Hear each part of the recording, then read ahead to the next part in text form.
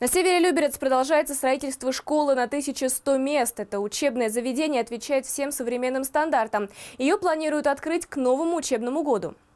Новая школа строится на улице Вертолетная. Это первая из пяти запланированных учебных заведений в данном микрорайоне. О ее востребованности можно судить по количеству уже записавшихся школьников. На данный момент здесь сформировано 7 первых классов. Приняты документы более 600 будущих учеников. Укомплектованность педагогами составляет 60%.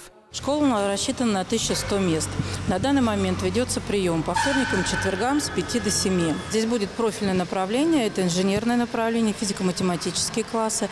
Также будут открыты другие профили по запросу населения для детей. Строительство школы находится на завершающей стадии. Ввод объекта в эксплуатацию запланирован 30 июля. К этому времени остается доработать небольшие детали как внутри школы, так и на территории вокруг нее. Как отметил Владимир Ужицкий, в этом учебном заведении есть элементы, которых не встретишь в других школах и гимназиях. Например, внушительный по своим размерам актовый зал. Благодаря высокому потолку, состоящему из партера и балкона, здесь могут вместиться более 700 человек. Спортивный зал в этой школе тоже не такой, как у всех. В нем могут заниматься сразу два класса. Здесь есть опыт э, э, проектов школ, э, который наработан на других территориях, не только в Московской области, а и в Москве.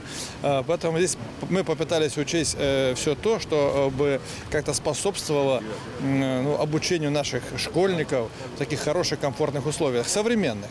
Глава города осмотрел и кабинеты, которые практически в полной мере готовы к работе. В одном из них даже ученики уже были. А в столовой Владимира Ружицкого угостили пирожками, приготовленными на школьном кухонном оборудовании. Кстати, в просторном буфете смогут трапезничать сразу 550 воспитанников учебного заведения. Здесь будет очень уютно и цвета такие играющие. Очень хорошо получилось. Родителям и будущим ученикам остается только готовиться к предстоящему Дню знаний. 1 сентября новая школа распахнет свои двери. Здесь пройдет торжественная праздничная линейка. Луиза Игиазарян, Кирилл Евгеньев, телеканал ЛРТ.